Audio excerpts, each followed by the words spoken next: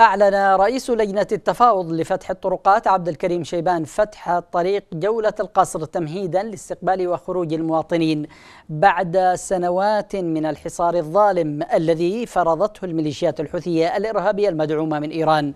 وقال رئيس لجنة التفاوض عبد الكريم شيبان في مؤتمر صحفي يسرنا فتح طريق الكم بجولة القصر الذي ظل مقطوعا من قبل ميليشيات الحوثي منذ تسع سنوات وتسبب في معاناة لأبناء المحافظة. وأضاف شيبان أن الفضل في افتتاح الطريق يعود لصمود أبناء تعز وتضحياتهم وكذلك تضحيات أبطال الجيش ورجال المقاومة الشعبية خلال فترة الحصار.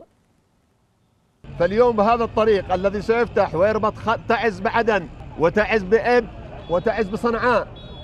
آه إذا كان هناك من فضل فالفضل يعود بعد الله سبحانه وتعالى يعود لأبناء هذه المحافظة الصامدة لأبناء هذه المدينة الذين يعني صمدوا خلال هذه الفترة الطويلة وكسروا الحصار ولجيشنا الوطني. آه كما نثمن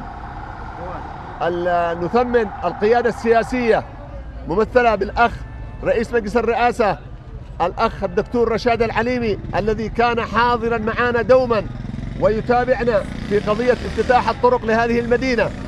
ونحن اليوم على ثقة كبيرة من جيشنا الوطني والأمن من تسهيل المرور للداخلين من من من طرف الحوثي داخلنا داخل هذه المدينة.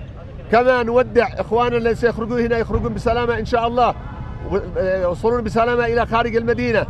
آه نحن اليوم أمام انتظار وعد الحوثي فتح الحصار وفتح الطريق في هذه اللحظات وإن شاء الله كما وعد أنه خلال اليوم سيتم فتح الطريق. هذا نحن نعلن أن الطريق من قبلنا مفتوحة وعليه أن يفتح الطريق ويفك الحصار.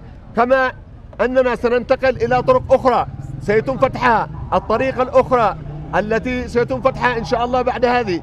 هي طريق مفرق الذكرة خط الستين. مفرق العدين عصيفرة. ثم ننتقل إلى بقية الطرق كلها ويرفع الحصار عن هذه المدينة المحاصرة.